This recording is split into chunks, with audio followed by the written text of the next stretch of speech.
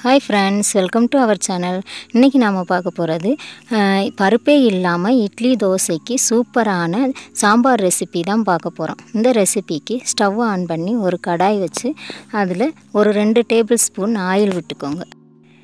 Oil காஞ்சதும் அதில் ஒரு அரை ஸ்பூன் அளவுக்கு கடுகு உளுந்தம்பருப்பு சேர்த்துக்கோங்க.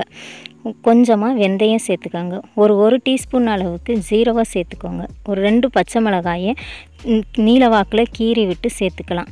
ஒரு மீடியம் சைஸ் பெரிய வெங்காயத்தை சின்னதாக கட் பண்ணி சேர்த்துக்கோங்க. இதை எல்லாத்தையும் நல்லா வதக்கிக்கோங்க. இப்போ இது கூடவே ஒரு ரெண்டு கொத்து கருவேப்பிலையை சேர்த்துக்கலாம். எல்லாத்தையும் நல்லா வதக்கிக்கோங்க. வெங்காயம் ஓரளவுக்கு வதங்கி வந்ததும் அது கூட ஒரு தக்காளியை இந்த மாதிரி பொடியாக கட் பண்ணி சேர்த்துக்கோங்க. தக்காளி வந்து நல்லா வதங்குறது வரைக்கும் வதக்கி விட்டுக்கோங்க. இப்போது தக்காளி வெங்காயம் எல்லாம் நல்லா வதங்கிருச்சு.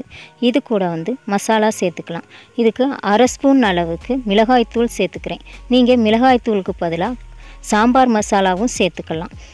கொஞ்சமாக மஞ்சத்தூள் சேர்த்துக்கலாம். ஒரு கால் ஸ்பூன் அளவுக்கு மஞ்சத்தூள் சேர்த்துக்கோங்க. இப்போது இதை வந்து நல்லா கலந்து விட்டுக்கலாம். இப்போது இது கூட ஒரு ரெண்டு கிளாஸ் அளவுக்கு தண்ணி சேர்த்து கொதிக்க விட்டுக்கலாம். மூடி போட்டு மூடி கொதிக்க விட்டுக்கோங்க. இப்போது கா சாம்பார் வைக்கணுன்னா காய்கறி எதுவும் இல்லாத நேரத்தில் இந்த மாதிரி ஒரு ஈஸியாக செய்யக்கூடிய ஒரு சாம்பார் வந்து செய்து பாருங்கள் இது வந்து சாம்பார் டேஸ்ட்லேயே இருக்கும்.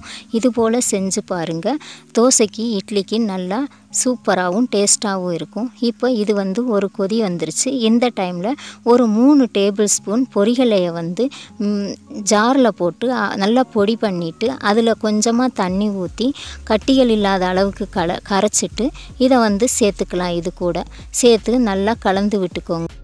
இப்போது இதுக்கு தேவையான அளவு உப்பு சேர்த்துக்கோங்க. சேர்த்துட்டு இதை வந்து நல்லா கலந்து விட்டுட்டு ஒரு மூடி போட்டு சிம்மில் ஒரு அஞ்சு நிமிஷம் கொதிக்க விட்டுக்கோங்க. அவ்வளோதாங்க. நம்மளுக்கு சாம்பார் டேஸ்ட்டில் ஒரு சைடிஷ் வந்து ரெடி ஆயிடுச்சு இட்லி தோசைக்கு சூப்பராக இருக்கும்.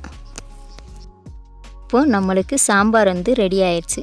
இட்லி தோசைக்கு இந்த மாதிரி செஞ்சு பரிமாறினோன்னா அவ்வளோ டேஸ்ட்டாக இருக்கும். இப்போ பாருங்கள் பார்க்கவே எவ்வளோ சூப்பராக இருக்குதுன்னு பாருங்கள் பார்க்குறதுக்கு நல்லா டேஸ்ட்டாகவும் இருக்கும் சூப்பராகவும் இருக்குங்க.